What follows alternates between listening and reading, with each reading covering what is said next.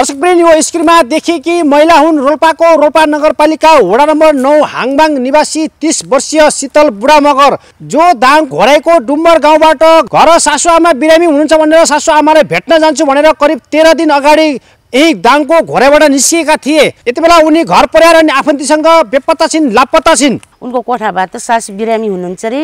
म त उता जान्छु अब पाँच छ दिन लाग्छ कि कति लाग्छ भनेर निस्क्या हो अरे त्यो कोठा पछि कति उता त्यो मुसिनातिर कहीँ यताउतिमा आफन्तमा गएको छन् कि भनेर त्यता पनि हेर्नु गएको। अनि माथि यता डुमर गाउँ माथि उता तुरुन्तपुरतिर खोज्न गएको अनि त्यहाँ जिपरकामा गएको कि त्यहाँ खोजेर पनि नभेटाएर यता दर्शकवृन्द सम्पूर्णलाई हार्दिक स्वागत छ म भेगराज थापा। यति बेला हामी दाङ जिल्लामा छौँ। दर्शकवृन्द दाङको घोराइ डुम्बर गाउँबाट शीतल नाम गरेकी महिला आफ्नो रुमबाट घर सासुआमा बिरामी हुनुहुन्छ भनेर साना साना नानी बाबुले कोठामा छोडेर उनी रोपा जान्छु भनेर हिँडेका थिए। दर्शकवृन्द उनको श्रीमान यति बेला मलेसियामा छन्। उनको श्रीमान मलेसिया गएको यही जेठको बिस गते ठ्याक्कै पाँच वर्ष पुगेको छ भने कि महिला पनि यही जेठको बिस गतेदेखि नि उनी हराइरहेकी छिन्।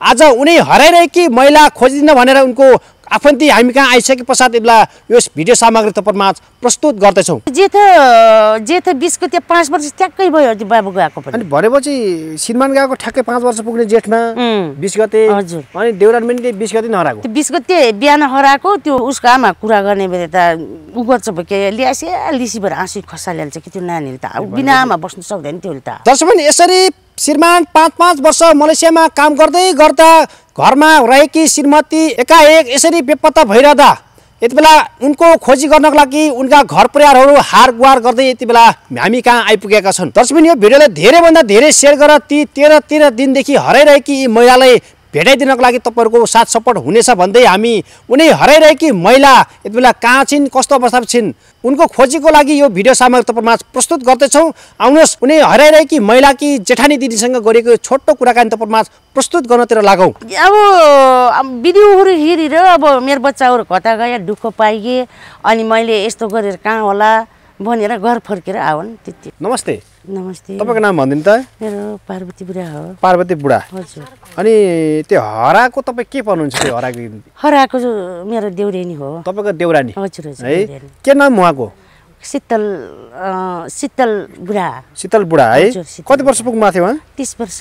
तिस वर्ष। हजुर। भनेपछि रोल्पाको हुनुहुन्छ नि हजुर बसाइ चाहिँ कहाँ नि?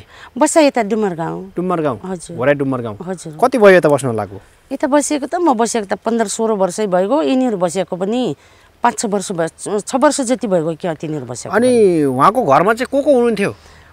तिन तिनको घरमा आफ्नो माइली बहिनी अनि कान्छी बहिनी अनि त्यो उसको नानी बाबुहरू। नानी बाबु कति छ नानी बाबु?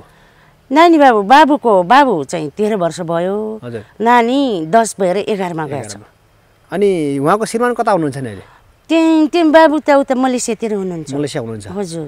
अनि कति दिन भयो भन्नुभयो हराएको? आज तेह्र दिन भयो। तेह्र दिन भयो। हजुर। कहाँ जान्छु भनेर हिँडेको? म उता घर जान्छु सासु बिरामी हुनुहुन्छ अरे उता जान्छु भनेर निस्क्या अरे।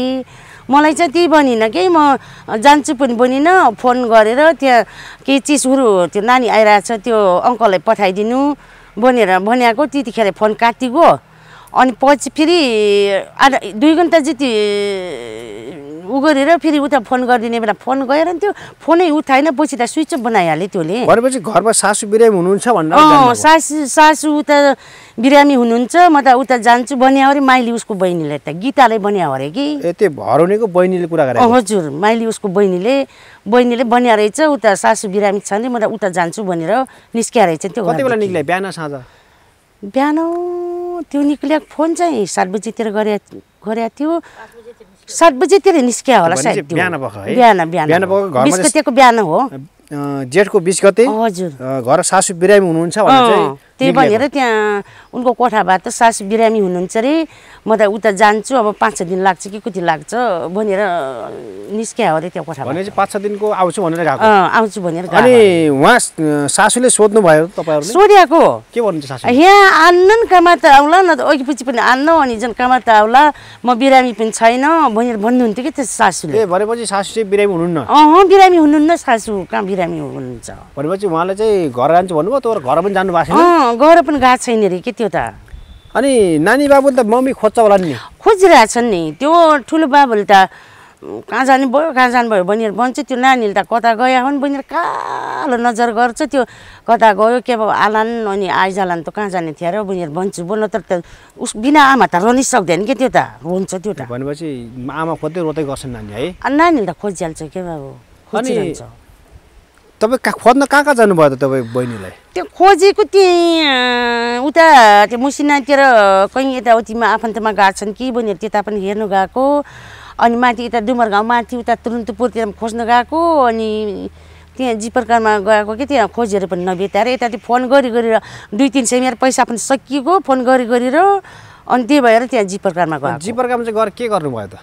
त्यो हुलिया कताइदिया हो के अरे कहिले कटाउनु भएको? हुलिया कताको हिजो।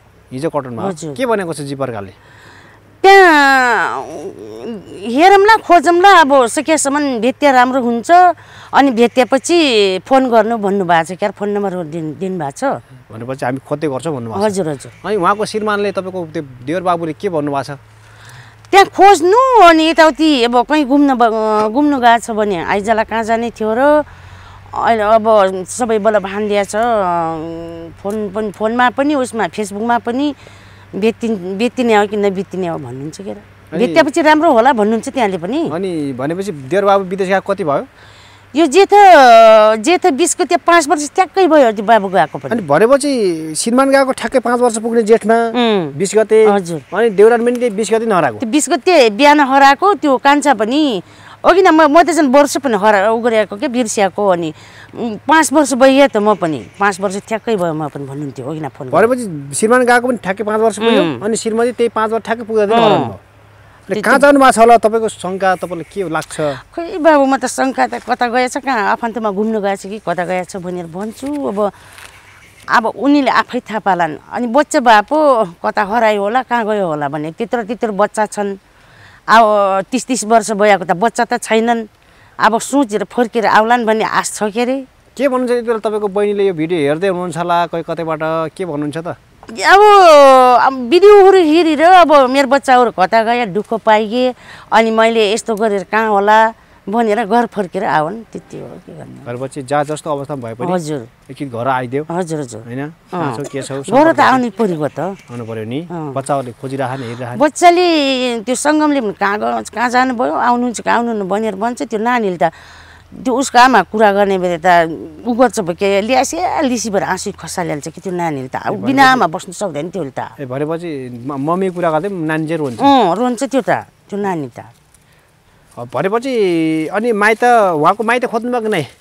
माइतीतिर आफ्नो उसले त्यो आफ्नो बहिनीले फोन गरे अरे माथितिर के। भनेको माइत?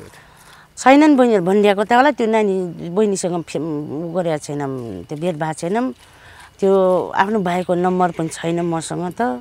अनि छैनन् गरे कि त्यहाँ पनि। भनेपछि त्यो हराउनेको बहिनीले माइत फोन गर्नुभयो? गरे माइत। पनि जानु भएन त्यहाँ आया गया छैन गरे दिदी भनेर भन्थ्यो त्योले अनि?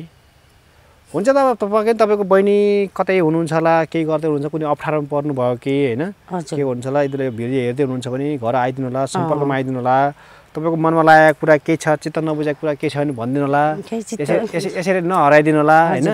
घरमा सानसानो बच्चाहरू छन्। बच्चा चाहिँ त्यसले अब खानु लाउने कम पनि थिएन अनि त्यस्तो दुःख गर्नुपर्ने पनि थिएन। अनि अब तलबाट कान्छाले पैसा पठाउने अनि खाने बस्ने गर्थे क्या। त्यस्तो काम गर्ने यताउति झ्याउ त थिएन नि त। किन त्यस्तो गर्ने? त्यस्तो नगर्नु पर्ने हो। घरमा दुःख थिएन नि? हजुर थिएन घरमा त। हुन्छ अब पक्कै पनि भिडियो हेरिसकेपछि सम्पर्कमा आउनुहुन्छ होइन? आइसक्नुहुन्छ आएपछि अब घरमा के फोन स्विच अफ छ। अब फोन स्विच अफ गरेर म यहाँ छु अनि यता छु भनेर फोन गर्नु पर्यो। भए पनि अब आएपछि घर आएर कुरा गरेपछि सबै कुरा गरी मिल्ला। ल हुन्छ त फेरि है? ल। नमस्ते।